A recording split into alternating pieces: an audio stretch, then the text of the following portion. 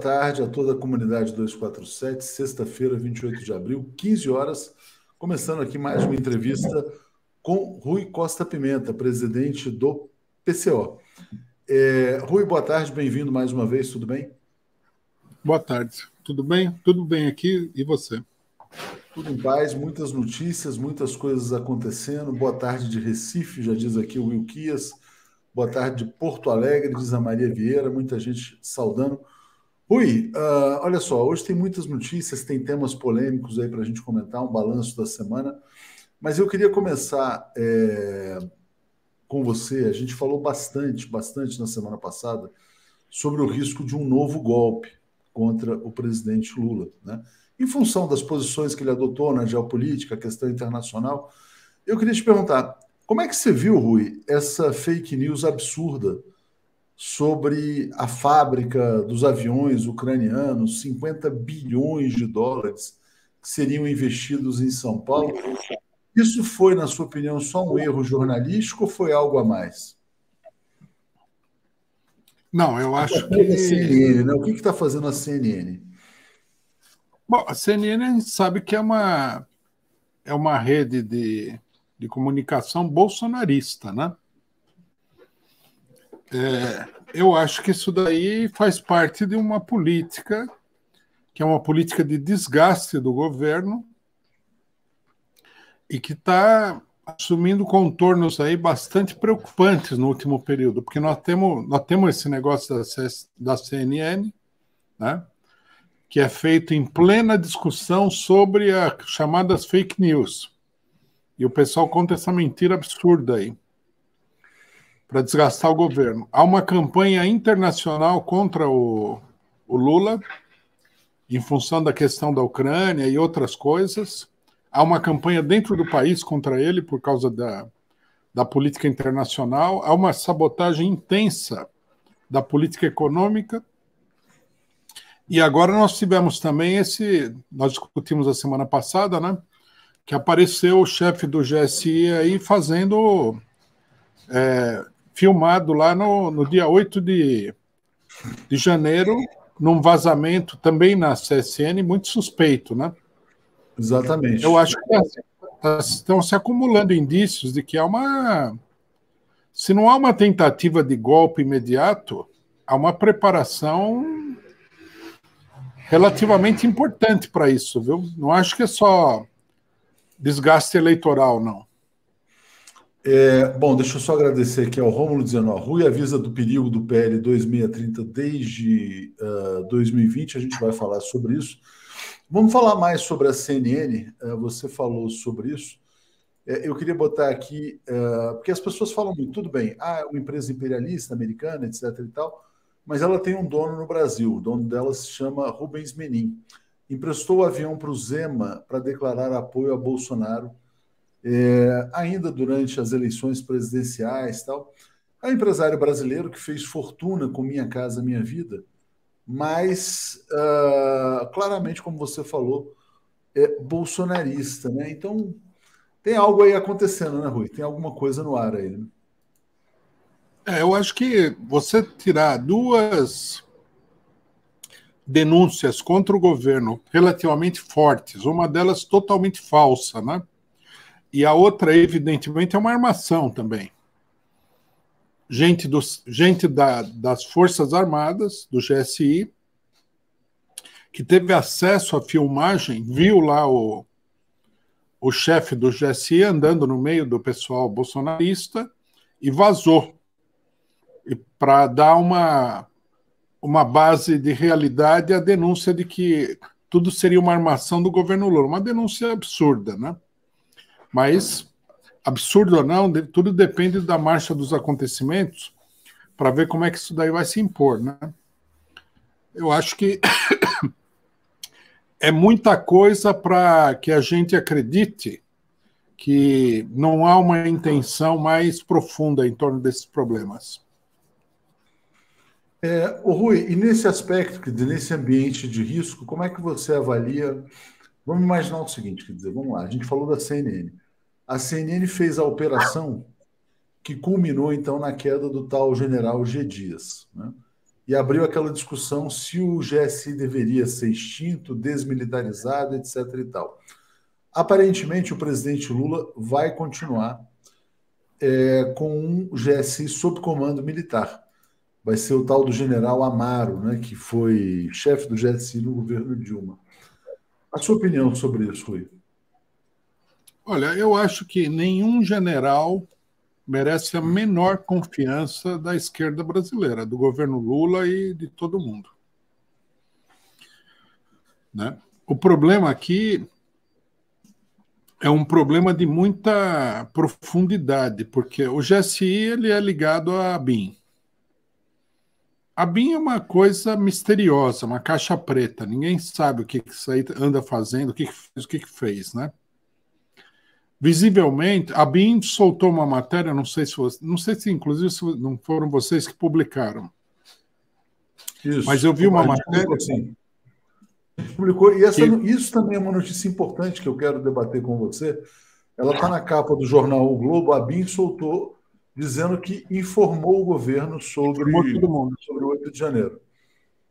Quer dizer, a, a BIM informou, o, o chefe do GSI estava lá, Estão construindo aí uma versão de para atacar o governo PT. Vai, isso vai ser tema na, na CPI do 8 de janeiro. Então, eu acho que está muito. É, claramente, uh, eu quando surgiu essa CPI, Rui, eu, eu cheguei a fazer um tweet dizendo que o ministro da Justiça, o Flávio Dino, seria um dos principais alvos da CPI. Por quê? Porque eu tinha a impressão de que exatamente esta versão seria construída, de que os setores de inteligência alertaram o Ministério da Justiça, etc, etc e tal, sobre o que poderia acontecer. E o ministro da Justiça, de fato, ele, ele pediu um reforço na segurança do DF, aí o Anderson Torres desapareceu, tem toda essa questão. Então, o que está em jogo agora é o seguinte: quer dizer, ah, foi o governo Lula, então, que não, vamos dizer assim, garantiu a segurança foi o Anderson Torres. Vai ficar exatamente esse choque de versões na CPI. Agora, isso está saindo logo, agora no jornal O Globo, né? Logo depois dessa notícia da, do, dessa questão do GSI que foi criada pela CNN, né? Então parece que são coisas articuladas que estão acontecendo. É, eu acho que a direita enxergou a brecha, né? Você deve se lembrar que logo depois do 8 de janeiro nós, nós discutimos o assunto aqui. Eu falei que o que tinha acontecido era uma coisa muito grave para o governo e que o Flávio Dino tinha falhado terrivelmente. Aí o GSI estava envolvido, né? Eu acho que a direita viu essa brecha, lógico, porque eles não são, eles não nasceram ontem, né? Eles vão explorar isso aí a fundo. É um problema sério. Não, eu acho que não deve ser subestimado, não. Porque, veja bem, a verdade na política ela depende muito da relação de forças. Essa, essa é uma afirmação interessante. O, o Rui, então você acha que, vamos dizer assim, o cenário de tranquilidade do governo em relação à CPI é um cenário ilusório? Ilusório, eu acho. Eu acho que é ilusório. A direita vai ser muito agressiva na CPI. Vão fazer uma propaganda imensa eles têm meios de comunicação que vão reverberar essa propaganda deles. Eles têm a CNN, eles têm a Jovem Pan. É capaz que os outros meios também, que não são diretamente bolsonaristas, tipo Globo, Folha, ajudem a reverberar. Vai se criar um clima muito negativo para o governo. Porque eu acho que a questão chave né, da situação política é a conquista do, da opinião conquista do apoio popular. E o governo Lula não conseguiu avançar nisso daí, infelizmente. É, não, em parte não conseguiu avançar porque o governo está sendo sabotado pela burguesia, esse negócio do Banco Central, o problema do teto de gastos, essa coisa toda. Em parte não conseguiu avançar, na minha opinião, por falta de maior firmeza política, né? É, a política do Lula é uma política de encontrar um termo comum que permita o governo avançar. Eu acho que essa política ela não está surtindo o efeito que, deve, que precisaria surtir para o governo se sentir, para o governo ser mais é, respaldado né, pela população. Tem muita coisa, tem, e a, a, propaganda da direita é, é, grande. Por exemplo, eu acompanho alguns órgãos de direita aí, que, de notícias, né? Por exemplo, tem um, um, um, um site na internet chamado Pleno News, que é um, um site de notícias da direita. Tem esse jornal Gazeta do Povo de, de do Paraná. Olhando o que eles falam, dá para perceber qual é a campanha que a direita está fazendo. Por exemplo, tiraram uma matéria sobre as filas que estão se formando de pessoas que foram rejeitadas pelo Bolsa Família e que estão tentando recuperar o Bolsa Família. Então, há toda uma propaganda de que foi uma injustiça, são 5,5 milhões de pessoas o governo Lula ele, ele deixa escapar essas coisas. No, com, esse, com, ele tem ministros aí direitistas, Simone Tebet e tal, que fazem essas loucuras, né? Isso sem falar no Flávio Dino aí com o projeto da, da PL das fake news, né? A gente vai falar sobre isso, Rui, mas olha interessante, você falou sobre a Gazeta do Povo, né? A Gazeta do Povo está falando assim, ó, tem uma manchete sobre bancada evangélica, mas eles têm um canal no YouTube, estão ao vivo em live lá agora, né? E aí está dizendo assim: o governo Lula, governo Lula teme pressão sobre Dino e Gonçalves Dias na CPMI. Assista ao programa deles lá, né? E aí eles põem do lado documentos mostram que a BIM avisou ministros de Lula sobre ações violentas no governo. A Gazeta do Povo, que é um jornal de direita ou de extrema direita, é um jornal mais explícito. Aí a gente vai para a Folha de São Paulo. A Folha coloca assim: a BIM citou conivência da PM e de militares em alerta ao GSI de Lula no dia 8 do 1.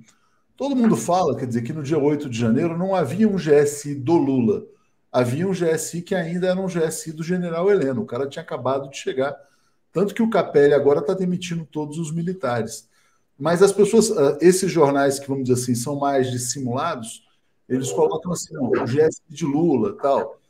É, uhum. tem, tem, um, tem uma jogada aí, uh, claramente em, em movimento, né? E é ampla, né? Você vê Folha, Globo.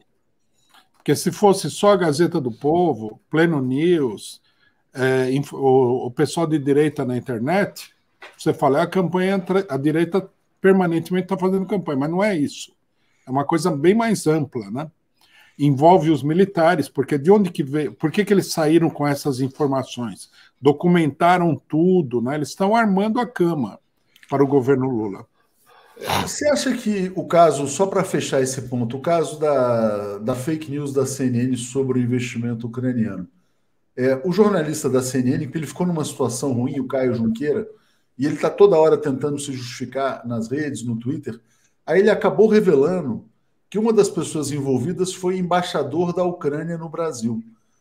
Você acha que isso foi uma coisa geopolítica da pesada armada para criar uma fake news que se alastrasse, que passava inclusive por governos, né? Uma coisa mais. Eu acho possível. É difícil afirmar, mas eu acho possível. Que você veja, só, CNN é uma rede internacional norte-americana. Ucrânia. É, né? Quando começa a aparecer essas coisas, a gente não deve acreditar que é tudo coincidência, né? É uma notícia plantada e uma notícia plantada logo depois que o Lula fez uma série de afirmações sobre a questão da Ucrânia, né? Rui, você é um, você é um editor de jornal, né? De um jornal político, partidário, que tem um papel aí, como você coloca, um papel revolucionário. Mas vamos imaginar que você fosse, que você, depois de ter se formado como jornalista, que você fosse buscar um emprego na imprensa burguesa e você virasse editor de economia do Estado de São Paulo, da Folha, do Globo, da revista Exame e tal.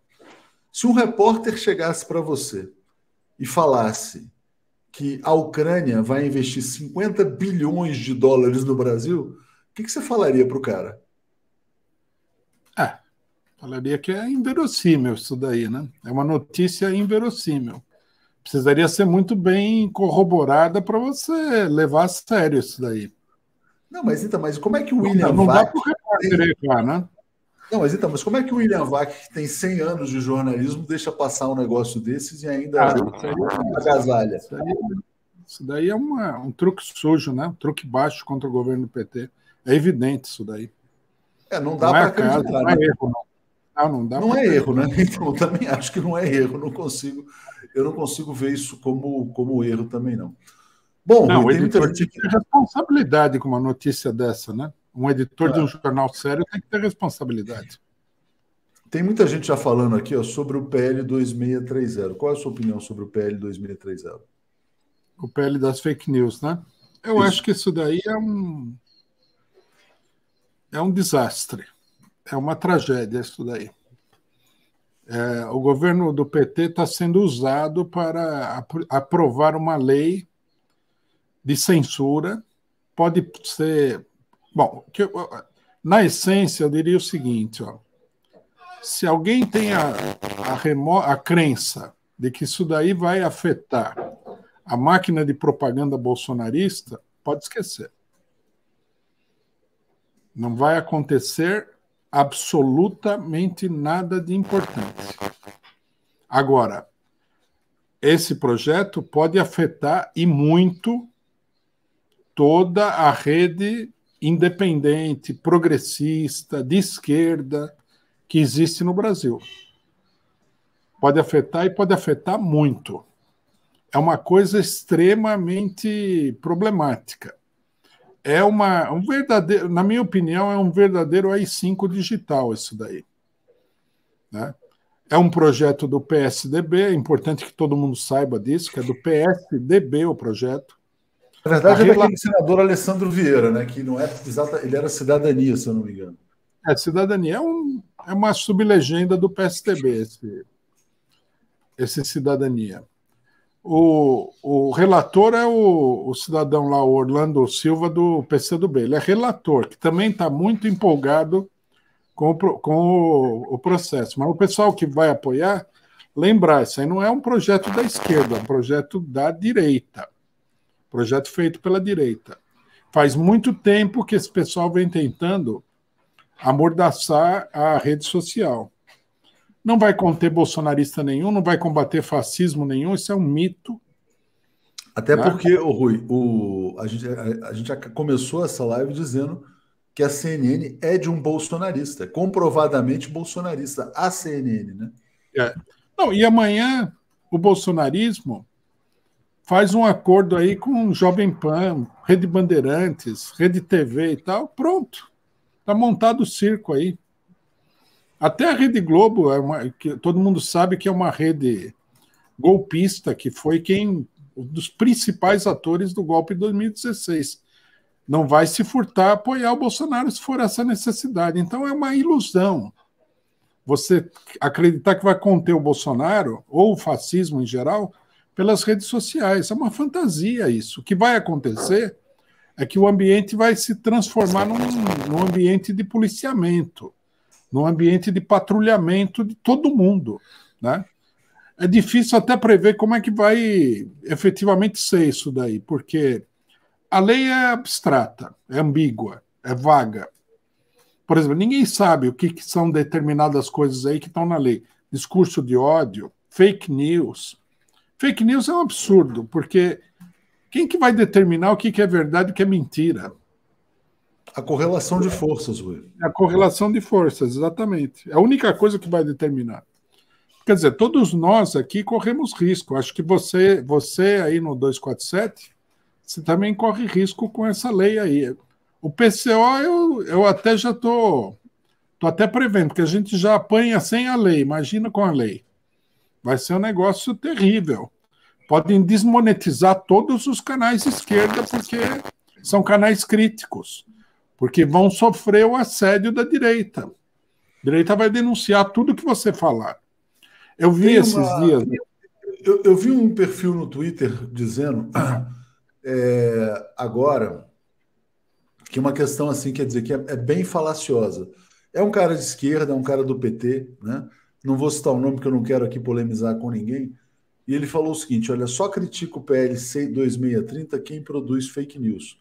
Por quê? Porque o Tiago dos Reis, o Tiago dos Reis, do canal Plantão Brasil, ele tinha feito um tweet é, criticando o PL. Aí ele falou: ó, só critica o PL quem produz fake news. Ele não está levando em consideração o seguinte fato, né?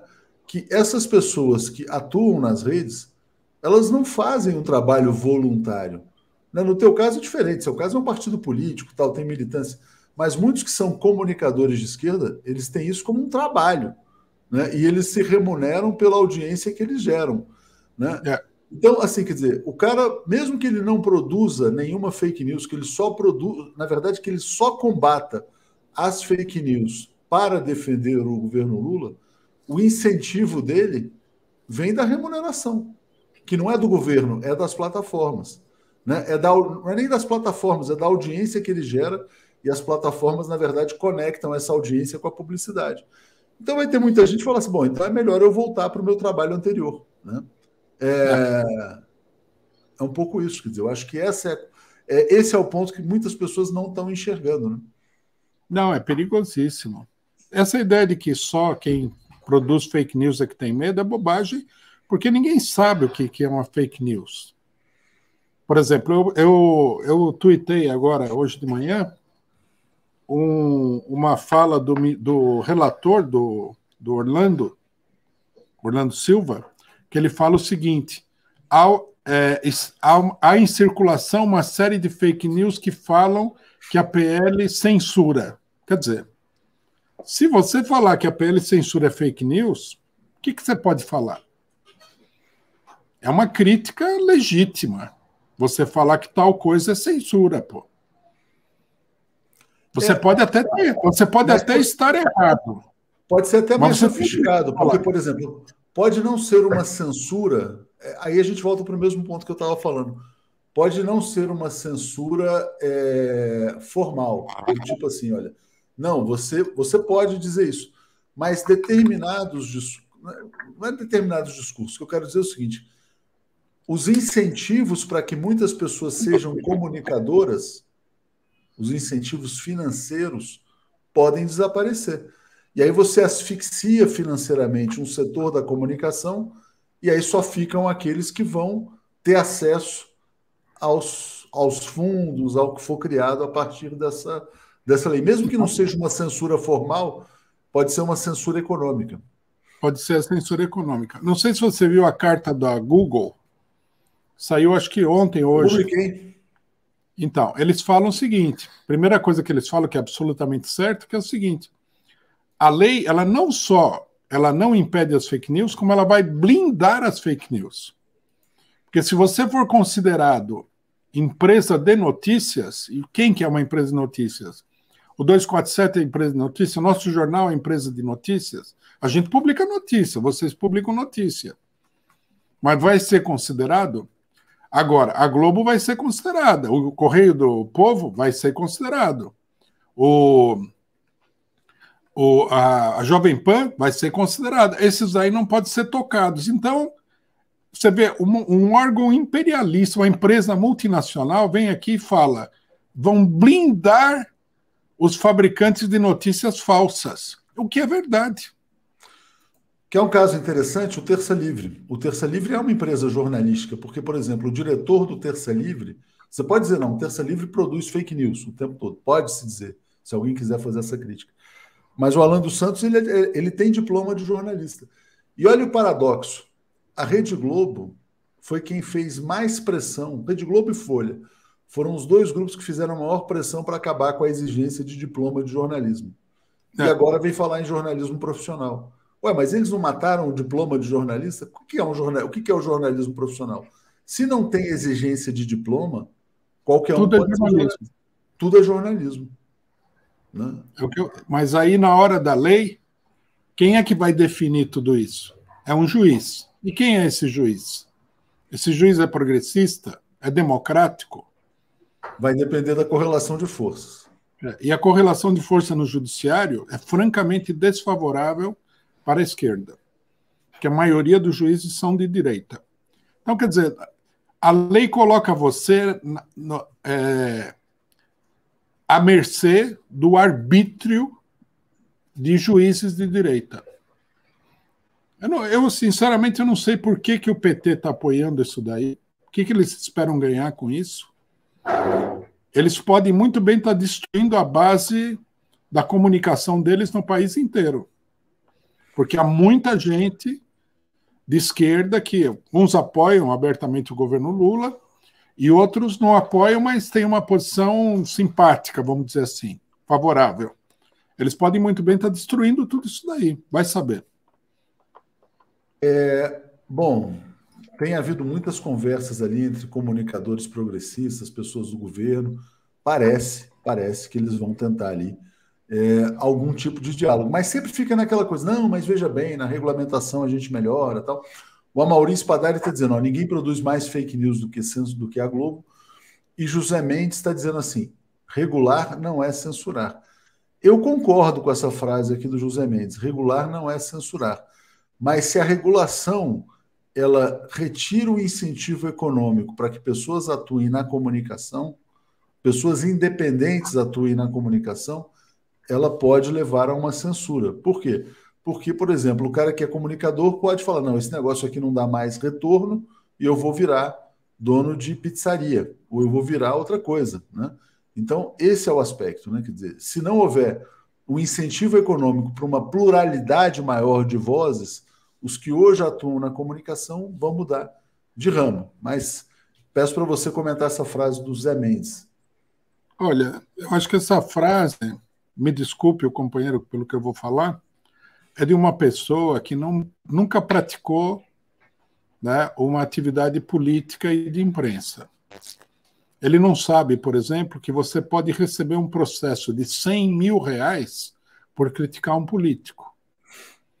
Então, esse negócio de que regular é muito bom, isso daí seria bom no mundo abstrato, no mundo dos unicórnios, no mundo da fantasia, no mundo cor-de-rosa. No Brasil, se você, a, você abre uma brecha, e essa brecha vai ser usada contra você, porque a justiça ela não é um ser, não é uma coisa imparcial, ela é uma arma que a classe dominante usa contra os seus inimigos. Nós sofremos inúmeros processos aqui. Tem gente que abandonou o jornalismo por causa dos processos que recebeu, pô. Não é verdade isso daí. Quanto mais regulamentação tiver, pior fica a situação. Você pode ser processado por qualquer um, por qualquer coisa, e o juiz ele vai olhar e vai dar para o amigo dele. Ele vai dar para a pessoa que ele acha que é simpática. Nós sofremos um processo do Dória e perdemos o processo. Vocês eram acusados de quê, Rui? Só para contextualizar. Não, veja só que coisa. Um, um um colunista do, do DCO, Diário da Causa Operária, ele escreveu uma história fictícia, né, em que o povo se levantava contra o Dória e acabava linchando o Dória. Uma história, né? Ninguém, não, a gente não falou que o Dória era isso, que o Dória era aquilo, era uma, uma quase é uma, era uma peça de ficção. O Dória entrou com o processo e a gente perdeu o processo. E o juiz, ele não dá 5 mil reais de indenização. Ele pede, sim. Teve, teve juiz aí, o juiz chegou numa parte do processo a dar 500 mil reais de indenização. Aí um, um companheiro nosso, que tá, o nome dele aparece lá como sendo proprietário do domínio, um operário gráfico. Ele foi no juiz e falou: Olha, 500 mil reais, eu sou um operário. Nem que eu trabalhe a vida toda, eu não posso conseguir pagar os cinco, esses 500 mil reais. O Dória foi atrás das pessoas. Ele não, ele não, ele não, não processou o PCO. Ele, ele pegou as pessoas e começou a processar as pessoas, e o juiz dava tudo isso. Quer dizer, ele poderia processar o DCO, poderia me processar, vamos supor, né? De acordo com a lei, e poderia processar o autor da matéria. Mais do que isso, ele não pode fazer. Não, o juiz não quis saber. Todo mundo que o Dória conseguiu arrumar um nome, o juiz aceitou como parte no processo. É isso, isso, é o Brasil real. A pessoa, o pessoal tem que sair dessa, desse mundo da fantasia e ver como é que é o país. O país não é um país de gente imparcial, democrática. As instituições brasileiras elas são profundamente antidemocráticas. As pessoas que estão lá são de direita, são bolsonaristas. É o Sérgio Moro, né? é, o, é o Dallagnol, esse pessoal que todo mundo viu. Esse é o pessoal que está no judiciário. A, a juíza lá, que, que substituiu o Moro, esse, esse é o judiciário. É uma, uma, um pessoal que é perigoso. É, pois é. Exatamente. Deixa eu ler dois superchats aqui. O Roberto França está dizendo: desde 2018, Haddad fica falando em fake news. Rafael Cardoso. Datena deve ter feito lobby com Boulos pela aprovação da PL. Boulos briga mais pela PL do que por habitação. É, discurso de ódio do Datena vale. É, esse é um ponto interessante, né? Porque, quer dizer, como é que você combate discurso de ódio nas redes sociais se você mantém. Qual é a lógica de combater discurso de ódio e manter os programas policiais, é, como o do Datena, como o da Rádio Itatiaia, que é do Rubens Menin, inclusive dono da CNN, que são programas que ficam ali, tipo, espremendo sangue. É. Qual é a lógica? Não tem lógica nenhuma. Se assiste um programa desse, é revoltante. Tem que matar mesmo. A polícia não pode levar flores. O que, que vocês esperavam aí? Tem que dar tiro mesmo, tem que cair matando e tal. Se existe algum discurso de ódio que vale a pena a gente mencionar, esse é o mais constante no Brasil. O incentivo permanente às atrocidades policiais. Isso daí não vai ser contido pela, pela lei. Né? É, na verdade, nada de que. que é, é, é o que nós estamos assistindo aqui é uma coisa é, tradicional. Os grandes capitalistas eles inventam um bicho-papão inventaram o bicho-papão da internet. Assim como inventaram aí o perigo internacional do terrorismo. E aí eles, eles voltam uma parte da população, que é uma parte bem pensante, que acha que está certo mesmo, né? esse é um perigo e tal. E aí o pessoal se coloca a favor de medidas repressivas que vai se voltar contra eles. Nós temos o exemplo da lei patriótica nos Estados Unidos. Foi aprovado depois do atentado de 11 de setembro. Mas por falar em bicho-papão, Rui, e os grupos criminosos do Telegram? E os grupos que pregam ataques a escolas, por exemplo? Eu acho que esse pessoal não precisa de internet. E depois, se a pessoa torna pública a sua intenção criminosa, isso dificilmente pode ser classificado como uma coisa ruim. Porque se todo, se todo criminoso se todo criminoso, vamos dizer assim, fizesse publicidade do que ele vai fazer, o crime diminuiria substancialmente, é ou não é? É, em tese, a polícia poderia alcançar com mais facilidade. É. Quer dizer, não é, não é um, um problema real. Aí vão falar que o cidadão trafica drogas pela internet, como se no tráfico de drogas não fosse uma indústria mundial que envolve centenas e milhares de pessoas no mundo inteiro e não depende da internet. Né? Aí falam da pedofilia, como se a pedofilia só existisse na internet, não fosse. Pedofilia tem, tem o escândalo da Igreja Católica, milhares de padres envolvidos, não é uma coisa da internet. A internet é um meio de comunicação, só isso. Né? Não, você não vai resolver o crime acabando com a internet. Assim como você não resolveria o crime acabando com a imprensa. Você é. proibir a imprensa, você não vai acabar com o crime. O, Rui, o jogo está sendo tão, tão pesado, tão estranho, que eu até vou compartilhar um e-mail que eu recebi agora há pouco. É, aqui, antes eu quero ler assim: Angel, regular é eufemismo para dar mais poder à burguesia. Yuka está dizendo que é eufemismo de censura. Mas, olha, você sabe aqueles grupos que atuaram muito em junho de 2013? Eu recebi uhum. aqui um e-mail da. Eu nunca, eu nunca, eu pelo menos não me lembro de nunca ter interagido com aquela organização que é a VAS, que fazia petições online e tal. Eu me lembro uhum. da atividade deles em junho de 2013. Aí eu recebo aqui um e-mail da Laura Moraes, do Avas. Fala assim, queridos amigas e amigos, tal, a Câmara está prestes a votar uma lei que obrigará as plataformas a serem mais honestas. A maioria dos brasileiros quer esta lei. Não podemos deixar que CEOs bilionários destruam o projeto de lei das redes sociais. Aí fala do deputado Felipe Beccari, que eu nem sabia quem era, né?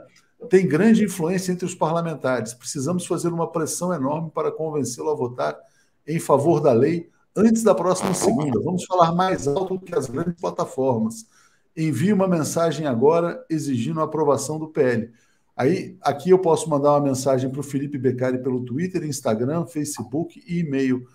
Eu recebi esse e-mail sem nunca ter sido ligado ao Avaz, sem saber quem é esse deputado, e aí eu estou sendo instado a sediar um deputado que eu não conheço. Como é que é esse esquemão aí? Eu acho que não, isso aí eu acho que é normal, né? Saber como eles conseguiram seu endereço, mas fora isso. Não, mas então, mas, que... mas, você vê que é o seguinte, quer dizer, não é, não é um jogo pequeno. É. Não, não Tem é um dinheiro por trás disso. A Vaz Muito. não está fazendo isso de graça. Sem dúvida. Então, não, é uma campanha. A Globo, todo mundo sabe que a Globo é um dos principais patrocinadores dessa lei aí.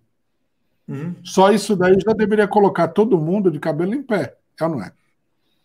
A Globo. Não, mas então, mas aí, aí eu vou te fazer uma pergunta. Vamos imaginar o seguinte: olha só.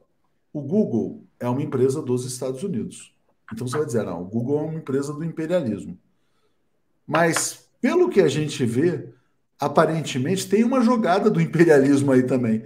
Não sei se o imperialismo está querendo trocar um bloco de informação por outro do tipo assim, não, peraí, essa, essa zona na comunicação, vamos, vamos, vamos a impressão que está me dando é que não é um plano só nacional da Globo, é que talvez não, seja não. um plano, talvez seja um plano internacional para dizer o seguinte: vamos tentar então, já que esse modelo não deu certo, vamos tentar voltar à ordem do passado. A ordem do passado é em cada país a gente tem, vamos dizer assim, a nossa Globo.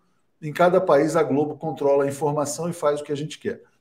Posso, posso estar enganado, mas está me dando a impressão de que esse jogo vai além da fronteira brasileira. É, eu acho que eu concordo com você. E eu digo mais. É bem possível que o Brasil seja uma espécie de laboratório, de plano piloto de uma ofensiva maior internacional contra a internet. Eles viram a brecha aqui, os problemas se conjugaram para oferecer uma oportunidade. Infelizmente, né? E aqui nós temos que dizer com toda a clareza: o PT se associou nisso daí, o governo Lula. Eu acho que é o pior erro que o governo Lula vai cometer é esse daí. Porque isso daí é uma coisa muito antidemocrática. Mas ele possibilita, porque se fosse só a direita, haveria uma grande resistência contra esse projeto. Como houve no passado, né? No passado houve uma resistência grande. Na época que foi feito o Marco Civil da Internet. Eles estavam tentando aprovar uma lei como essa daí. E então, aí o governo aí, apresentou uma lei do Marco Civil. Se a gente está tratando de uma ofensiva global contra a internet, talvez isso passe é, pela questão do Partido Democrata, quer dizer, até do tipo assim, olha, vamos deixar, vamos impor uma derrota ao Google, ao Facebook, ao Twitter, ao que seja, e usar o Brasil como laboratório. Porque eu me lembro de ver a Hillary Clinton dizendo, uma vez para o Facebook, numa audiência, dizendo que o Facebook tinha destruído a democracia nos Estados Unidos. Será que não está tendo uma disputa de facções imperialistas ali? Eu acho que sim. Não tanto que o Google seja, tenha, seja, tenha conscientemente uma oposição a isso, né? Uma oposição ao, ao poderio do imperialismo e tudo mais, mas há uma contradição de tipo profissional. Quer dizer, é uma rede que é, é para ela existir e funcionar, ela precisa ser aberta, ela precisa dar oportunidade para muitas pessoas. Você imagina o YouTube, se fosse uma coisa fechada, nunca seria o que é. O YouTube é o carro-chefe do Google, junto com o, o sistema de busca do, do, da empresa. Então há uma contradição aí. O, o, imperialismo quer controlar as redes sociais, que ele acha que, por mais que tenha sido feito com algoritmo e tudo mais, já há uma série de restrições, eles não conseguiram conter e a coisa está escapando visivelmente de, do controle, né? O, o, Elon Musk comprou o Twitter, tirou o Twitter do controle que ele estava exercendo por dentro, porque é uma pessoa ideologicamente motivada. Eu acho que há uma há um, um, grupo que se associa com Elon Musk que está procurando com, é, quebrar esses controles. Eu acho que não é simplesmente por causa do Trump, não. Acho que tem mais coisa em jogo aí. Né? Não sei se você se. Você deve se recordar que houve uma luta muito dura quando a, a Microsoft detinha o controle total do programa de funcionamento dos computadores. É, um grupo empresarial começou a se organizar para quebrar esse monopólio do Bill Gates. Isso. Acabou quebrando. Quebrou, exatamente. Então, eu acho que tem uma luta parecida com essa em marcha nos Estados Unidos, que é uma luta que envolve grandes empresários e que envolve grandes grupos políticos, porque o Elon Musk não ia desafiar, né? denunciar o envolvimento do FBI, do envolvimento da CIA, tudo, sozinho. Ninguém faz isso daí. É uma Exatamente. coisa muito perigosa. E, ele, e nós sabemos que ele não é nenhum democrata, também tem esse detalhe, né? Quer dizer, há uma briga aí porque o imperialismo é uma coisa poderosa. Se deixar, eles esmagam qualquer pessoa. Né? Então, eu acho que é uma resistência e é uma crise. E essa crise opera nesse negócio da, da PL no Brasil.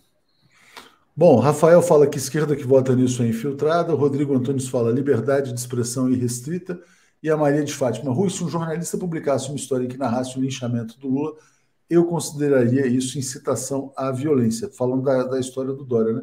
Só para falar sobre como isso. Se, como é, se não, não tivesse. Só para lembrar que a Veja, durante muito tempo, pregou o assassinato do presidente Lula, né? Como fez é. nessa capa aqui é, antes, né? Isso nunca. Aí o Lula, a, o pessoal falava em regulação da mídia e todo mundo dizia que é censura. Olha que curioso, né? Quando é. o governo Lula falava que era necessário regular a mídia, o pessoal, não, é censura. Aí agora, quando se fala em regular a internet, não é mais censura, né? Não é mais aí censura. É, aí é salvar o Brasil, né? É salvar a democracia. É, um, é uma coisa. A esquerda, é, o, que mais me chama a atenção, Atushi, nessa história, é o desnorteamento da esquerda brasileira, de um modo geral. Ah, mas eu acho que o pessoal sabe o que está acontecendo, sim, Rui.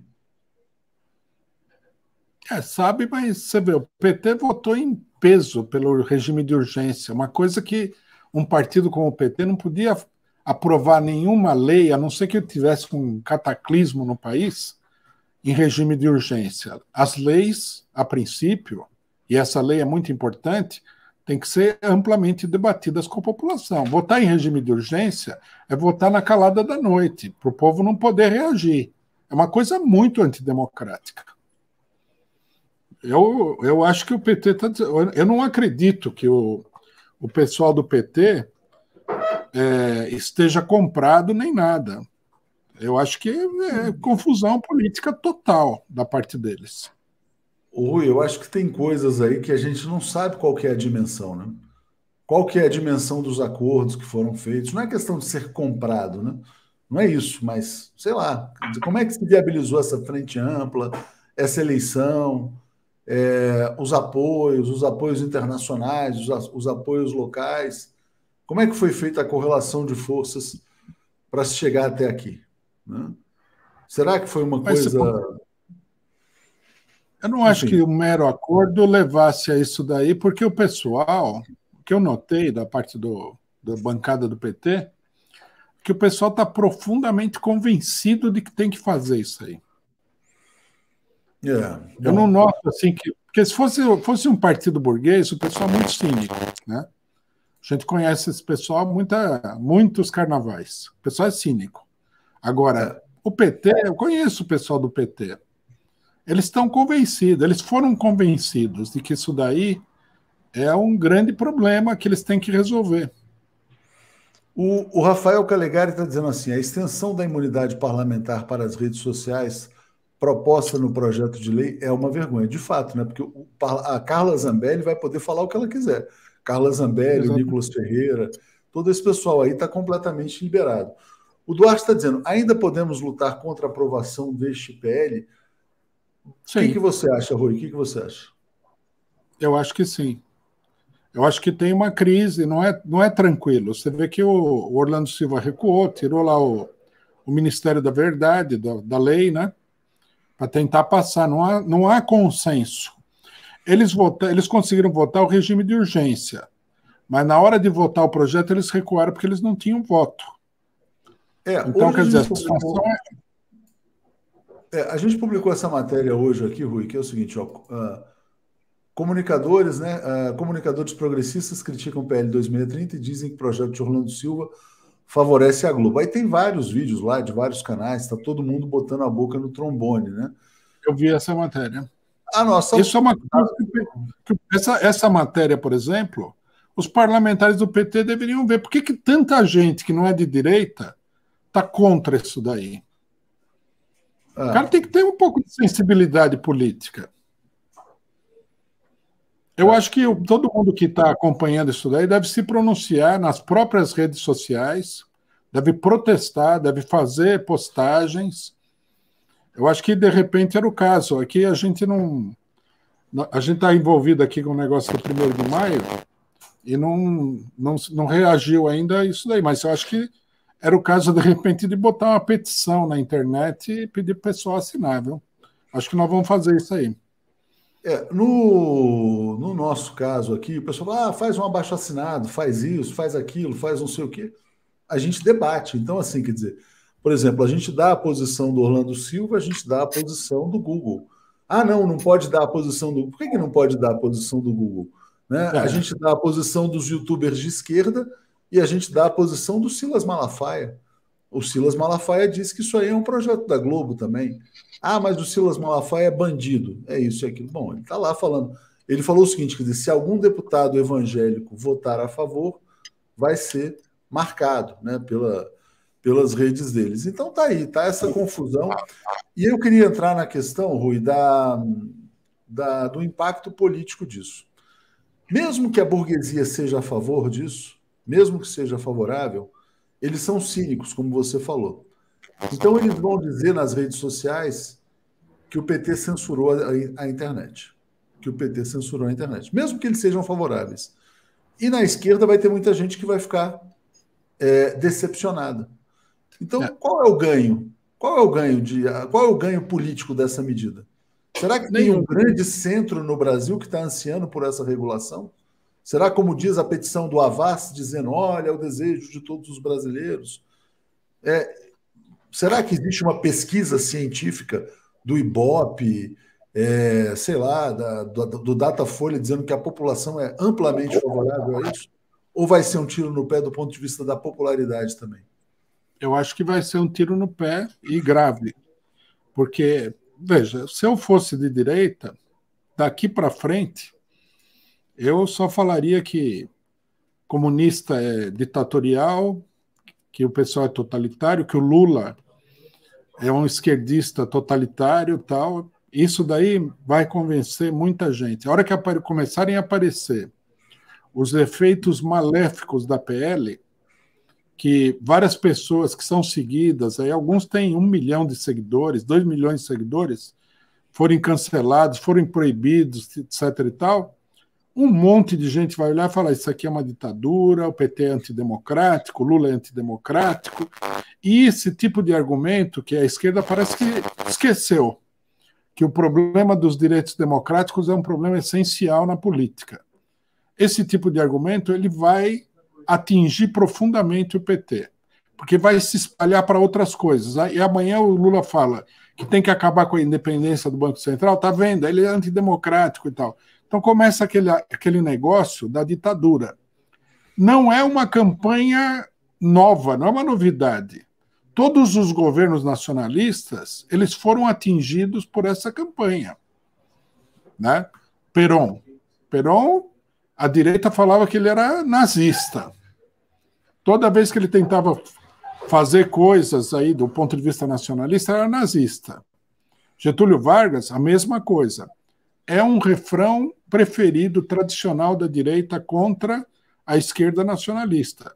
Eu, sinceramente, Atucha, eu não consigo entender por que, que o Lula apoia isso daí, porque ele vai ser o principal responsabilizado pela lei e a lei vai ter muito efeito negativo.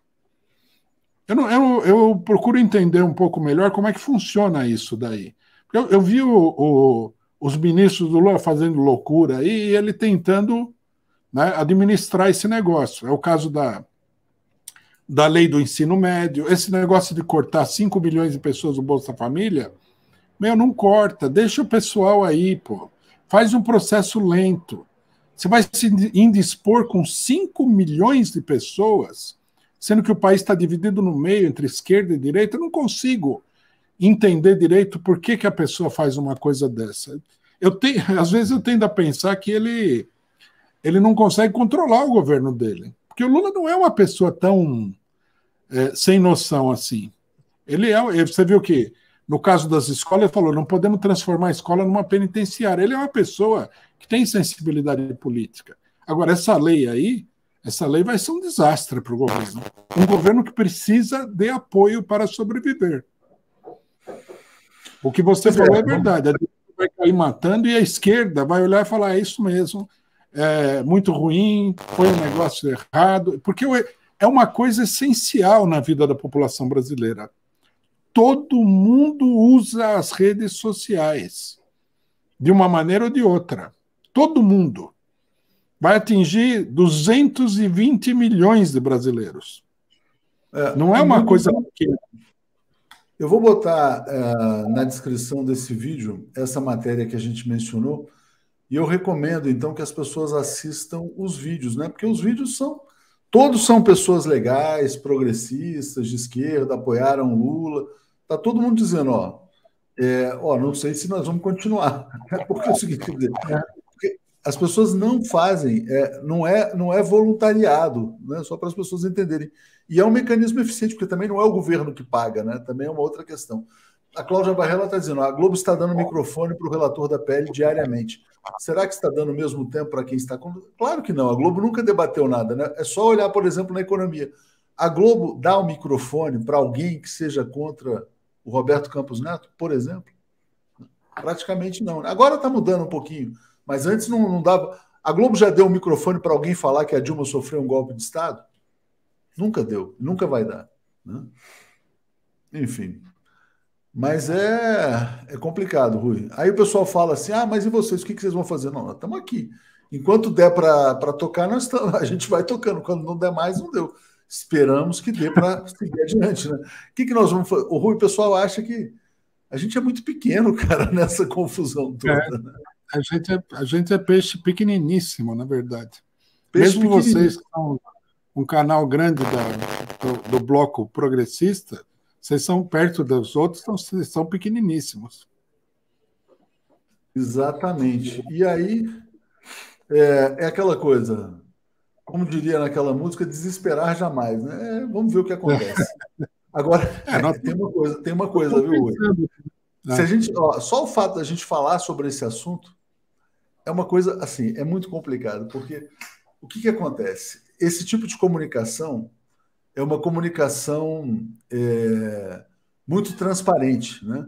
Pelo menos no nosso caso. As pessoas não, é difícil você ficar mentindo assim, né? Cada um fala o que acredita, né? Então, assim, a menos que o cara seja um ator, né?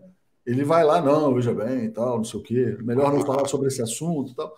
Então, pessoal, pergunta aqui no comentário, a gente vai e fala. O simples fato da gente falar deixa muita gente incomodada. e fala, ah, esses caras aí estão enchendo o saco, hein? Né? Daqui a é. pouco a gente leva um carimbo assim também. tipo Mas assim, inconveniente, né? Inconveniente. Mas isso é uma, um setor da esquerda que acha que você tem que ter aquele, aquele pensamento uniforme, né? Que todo mundo tem que dizer amém a tudo, não é? Isso daí não é uma coisa positiva. Não tem esse negócio de dictat, né? Qual é o dictat? É um, é, eles são a favor do dictat. Exatamente. Não, não tem, não tem menor. É muito grave isso daí. Viu? Eu tô, eu, é, eu achava que o governo do PT fosse ter mais um sentido, mais bom senso no tratar a coisa, mas isso daí indica que eles estão perdendo o pé aí. Bom, não quero ser chato, mas eu falei, Flávio Dino é que é, o, é, um dos grandes impulsionadores disso, ele não é um cara democrático. Ele não é uma pessoa democrática. Bom, aí eu já tenho discordâncias em relação a você. Mas, Mas você está tá vendo, né? Você está tá vendo o negócio como é que está indo. Aí. Não, tudo bem. É tipo assim, o iceberg se aproxima, né? É mais ou menos assim. O ice... Tem um iceberg é. indo na nossa direção, é mais ou menos isso. É. Exatamente. Estamos com. É, tipo... Vamos ver o que acontece, né? Isso é muito preocupante mesmo. Na hora que bater no tem... iceberg, a gente vê se tem um bote salva-vidas, alguma coisa assim. Né? É. Vamos ver. O doutor a situação de vocês é pior do que a nossa, na realidade, né, Atush? Porque nós somos um partido político, se a gente perder todo o dinheiro, nós vamos continuar fazendo esse negócio. É o que você falou, né? Mas uma boa parte da imprensa progressista depende da, da, da contribuição da audiência através de propaganda, etc. e tal, para sobreviver. É, pois é. É verdade. É, Angel fala. Bom, o doutor Spock falava: se a Globo é a favor, a gente é contra, né? E Angel está dizendo: repressão nas escolas, PL da fake news, taxação da Shine, censura do Telegram. Depois não pode reclamar quando disserem que Lula e PT são autoritários. Como é que você viu essa coisa? Parece que o, o Telegram está fora do ar há dois dias, Rui. Pois é. E eles argumentam uma coisa é, absolutamente irrefutável, que eles não têm condições técnicas de fazer o negócio que estão pedindo. Né? Quer dizer, eles estão sendo multados e colocados para fora do ar por uma coisa que eles alegam que não é possível fazer. Porque todo mundo sabe, né? Telegram é criptografia de ponta a ponta. Eles não têm acesso, teoricamente, não têm acesso às mensagens. Ó, olha que acabou de sair aqui, ó. Olha aqui, ó, vou te falar. Se faltava um motivo para ser contra, acabou de chegar o motivo. Merval Pereira publica um artigo. É preciso acabar com a bagunça. Foto do Orlando. Sim. Então, o Orlando vai acabar com a bagunça no Brasil e o Merval Pereira apoia, né? Ó, vou te é. falar. Eu, eu nunca vou estar. Tá, eu, eu raramente, eu, eu, não tenho como ficar ao lado. Não é nada contra o Orlando, mas eu não tenho como ficar ao lado do Merval Pereira. Não tem jeito vai contra mim, como disse uma vez. Lembra uma vez aquele cara. Uh, putz, agora fugiu o nome. Uma pessoa dizendo, não, isso é contra a minha existência, né? Enfim, diga. É. Não, outro dia, numa reunião que nós fizemos aqui, discutindo pauta e tal, alguém falou de uma matéria do Merval Pereira, falou qual que é o melhor argumento? Eu falei, o melhor argumento é que ele está defendendo isso daí.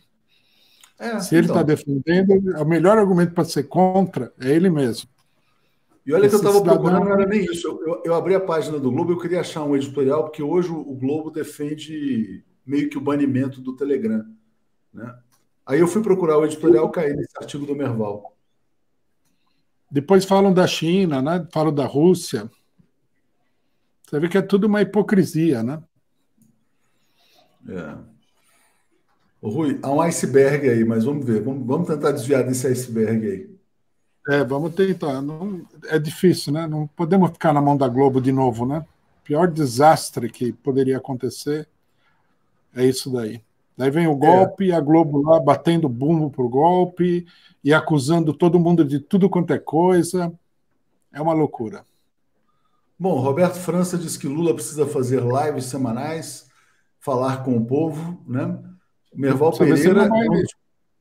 O Merval Pereira é um dos principais responsáveis pela ascensão do fascismo no Brasil, só para lembrar, tá? Ele fez propaganda pelo golpe de Estado contra Dilma, fez propaganda pela prisão do Lula, ou seja, indiretamente ele colocou o Bolsonaro no poder. Então, o Merval Pereira é um dos principais responsáveis pelo 8 de janeiro.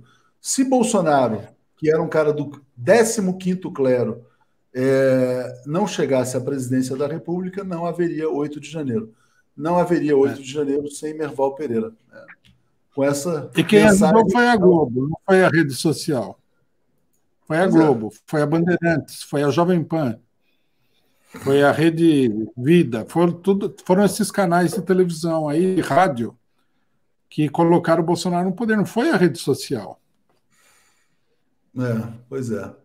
É isso, Rui. Obrigado. Obrigado aí mais uma vez. Voltamos na semana que vem. Abraço. Valeu. Um abraço.